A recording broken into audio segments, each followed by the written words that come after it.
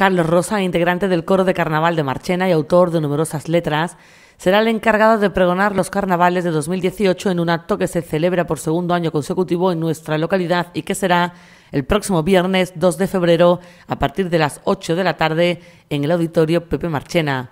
Con su discurso se dará el pistoletazo de salida a las actividades promovidas para celebrar esta fiesta en auge en nuestro municipio, que contará con su certamen de coplas y pasacalles, entre otros eventos.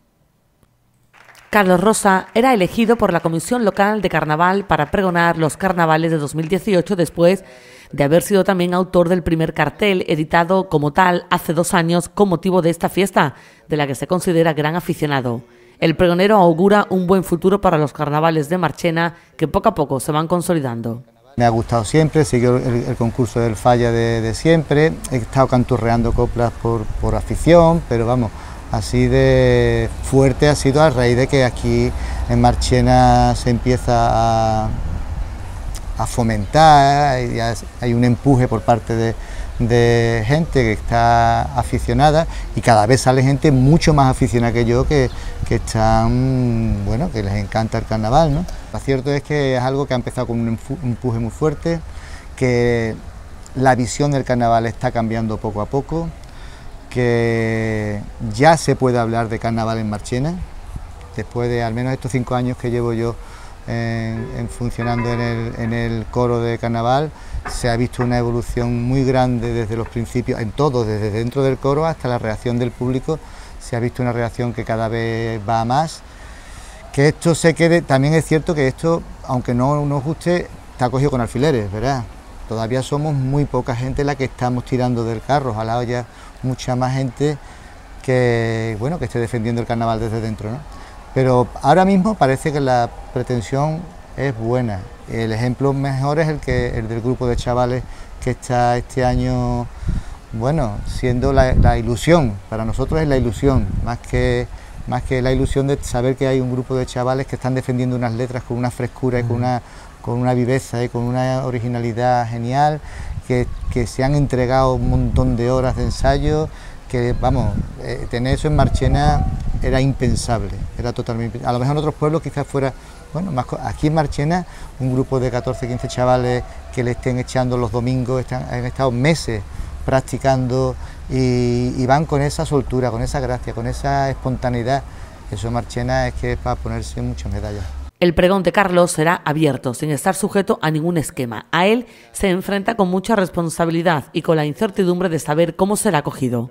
Yo los pregones de semana de, de, carnaval. pues mm, los esquemas no están tan cerrados, ¿no? son más, más abiertos, más lúdicos, son otro tipo de, objetivos, vamos, creo. Yo la verdad es que me he negado a ver pregones de, de otra gente muy estresante. Este año está siendo, entre las fechas que estamos teniendo este año de, de, coger tan pronto la cuaresma, entre que el tema del pregón ha llegado a última hora, prácticamente han sido dos meses, que la Navidad, sacar el, repertorio del, coro a la calle con lo que supone de estrés de última hora, de aprendizaje de letras, de, bueno, de lo gordo, ¿no? de, los días antes de sacar un, repertorio a la calle. Bueno, conflictos diarios, diarios, diario de no saber mañana qué, te vas a encontrar. ¿Y cómo lo estás llevando? Mal, mal. mal. Como intento que no se note, pero es, mal porque es que, ya te digo, la responsabilidad de este del pregón, de saber que tienes que que da una respuesta sobre todo para, la fiesta, más que para el pueblo, para la fiesta, para que la gente se quede con un buen sabor de boca de, la fiesta del carnaval, que tengan ganas de pensar que el carnaval es algo serio y a la vez pues algo popular, en fin, eh, mm, sin darte cuenta tienes una carga de responsabilidad.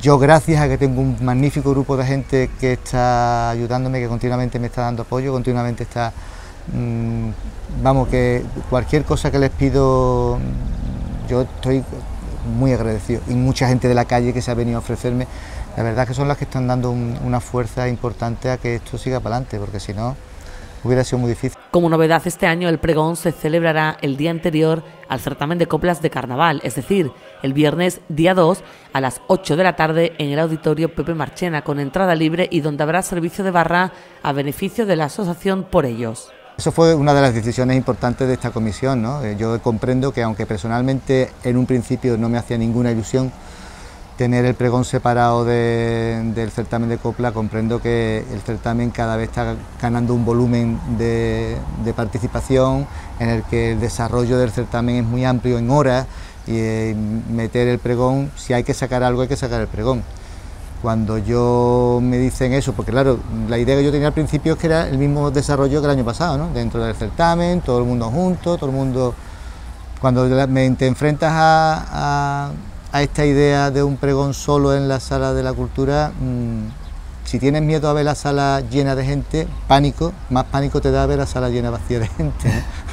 y bueno, es una sala muy grande. Sabes que no va a ser, que no va a ser así, Carlos. Bueno, sí, no, sí, yo, yo ya, ya, eso lo tengo superado, ya me da igual. Ya aunque seamos los que estemos, vamos a intentar echar el rato y, y hacer como buenamente podamos y va a haber mucha gente seguro. No, la sala cultural pasa que es demasiado grande. pero que ya no me preocupa. Esa, fase ya la superé. en su pregón, que se anuncia muy variado y distinto al que el año pasado pronunciara Antonio Borrego, contará principalmente en escena con su coro de carnaval. Quizás llegue el día antes de salir a escena y tampoco esté terminado. Pero ya te digo, ya me preocupa menos. Ya digo, bueno, ¿qué voy a hacer? Quizás sea mi afán de, hacer cosas que es la que hace que todos los días voy cambiando, el pegón tiene un esquema básico y el esquema es el que se mantiene. Después sobre ese esquema van, surgiendo, bueno, van surgiendo cada vez cosas que lo van enriqueciendo, ¿no? Pero lo que vaya a salir al final todavía está muy en el aire. Pregón un poco de todo. Va a haber vivencias personales, va a haber... No sé, no creo que se parezca en nada al pregón del año pasado, que era un pregón muy musical y era un pregón centrado en toda la experiencia de, Antonio Borrego en, sus vivencias en Cádiz y, su, bueno, todo, todo lo que el bagaje que lleva él de este no, se va a parecer en nada. Yo con quien cuento básicamente, aunque se me han ofrecido el resto de las agrupaciones, a todas las agrupaciones de Marchena les tengo que agradecer que todas se han, se han brindado a echar una mano en lo que haga falta, van a estar ahí apoyando, si hace falta, vamos, mm, la verdad que se lo tengo que agradecer todas. Yo voy a contar con el coro, que es con quien con quien tengo, claro, a los pobres, entre el estrés que están llevando también con su sacar el coro a la calle, que menos mal que está ya en la calle, y, lo que le estoy metiendo yo de caña, pues mm, a ver qué pasa. Pero yo voy a contar básicamente con, con el grupo de personas que tengo más cercanas, que son el coro. El mensaje del pregonero para los carnavales de este año está claro. Disfrutar de esta fiesta recuperada y de la que se espera no se vuelva a perder, porque perder una fiesta en un pueblo, asegura Carlos, es perder patrimonio.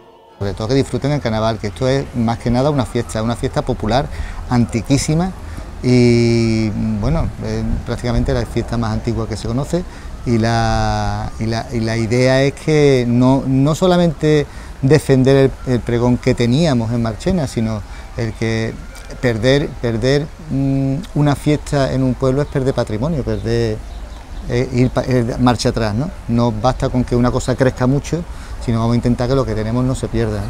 Comprensible que a algunos les guste más, otros menos, que algunos mm, tengan más afición, menos afición, eso es comprensible, pero en el, rocío, en, cualquier actividad que preste.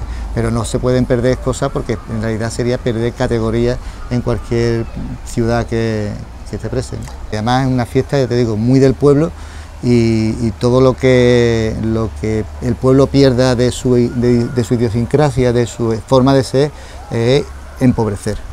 Entonces, eh, un pueblo rico es el que tiene una gran variedad de ofertas, una gran variedad de personas que se mueven, una gran variedad de mundos y que todas son viables y todas son aceptables.